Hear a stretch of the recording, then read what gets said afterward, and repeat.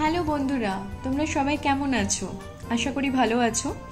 So এখনও তো lockdown শেষ হয়নি, তাই আর কি নিত্য নতুন রেসিপি ট্রাই করছি আর তোমাদের সাথে শেয়ার করছি। তো আজকে বানালাম হচ্ছে কর্ন পকোড়া। কর্ন পকোড়াতে নর্মালি আমরা বেসন আর কর্নফ্লাওয়ার আর চাল গুঁড়োটা ইউজ করি।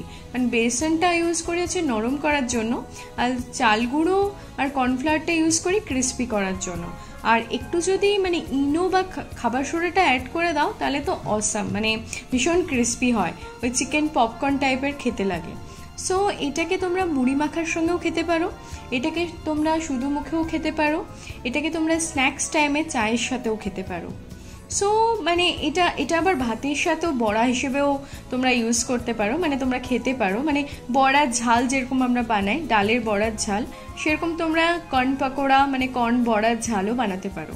তো এটাকে তোমরা কর্ন পকোড়া বলতে পারো কর্ন বড়া বলতে পারো। মানে তোমাদের যা ইচ্ছা সেই হিসেবে নাম দিতে পারো। আপাতত আমি নাম দিয়ে নাম দিয়েছি হচ্ছে কর্ন পকোড়া।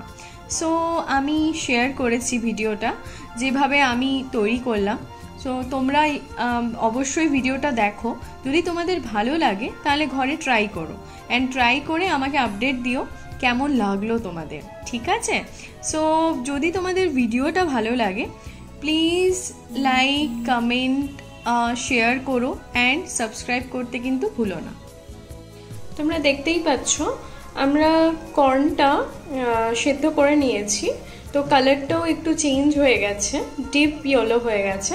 সো এটা করতে মানে সেদ্ধ করতে মোট টাইম লাগল ফাইভ টু সেভেন মিনিটস তো তোমরা দেখতেই পাচ্ছ, এখানে দুটো ভুট্টা আমরা সেদ্ধ করে রেখেছি অ্যান্ড ওটাকে ছাড়িয়ে নিয়েছি অ্যান্ড ওর সঙ্গে কাঁচা পেঁয়াজ কুচো করে কেটে নিয়েছিলাম, একটা গোটা পেঁয়াজ নিয়েছিলাম আর তিনটে গ্রিন চিলি মানে কাঁচা লঙ্কা নিয়ে নিয়েছিলাম।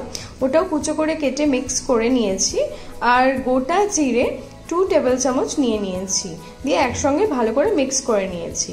তো তোমরা দেখতেই পাচ্ছ, এখানে একটা ওই কর্নের একটা মিক্সার বানিয়ে নিয়েছি। ওই অ্যাকচুয়ালি যে দুটো কর্ন আমরা সেদ্ধ করে পেঁয়াজ আর জিরের সঙ্গে মিক্স করে রেখেছিলাম, সেটাকে গ্রাইন্ডিং করে নিয়েছি এবং সেটার একদম একটা মিহি একটা মিক্সচার মানে গ্রাইন্ড বাটা বানিয়েছি।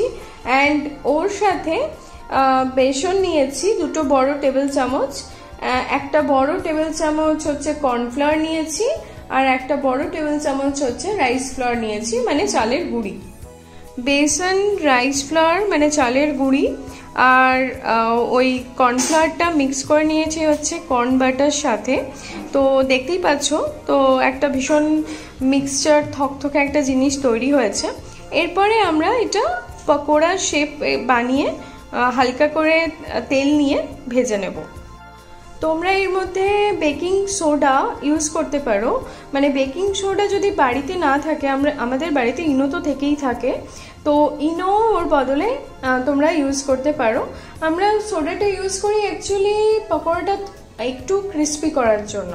মানে একটু মচমচে টাইপের স্বাদ তো সবারই ভালো লাগে সো সেই জন্য আমরা এগুলো অ্যাড করে থাকি। তেলটা গরম হয়ে গেছে প্যানে। এবার আমরা পকোড়া শেপ করে ওই কর্ন বাটাটা দিয়ে দিয়েছি। এবার ওটা ভাজা চলছে। তো এটা গোল্ডেন ব্রাউন কালার হওয়া পর্যন্ত আমরা ভাজবো। তারপরে আমরা গরম গরম সার্ভ করব। তোমরা চায়ের সাথেও সার্ভ করতে পারো। আর মুড়ি মাখার সাথেও সার্ভ করতে পারো। এমনি ক্রিস্পি এই কর্ন পকোড়াও খেতে পারো।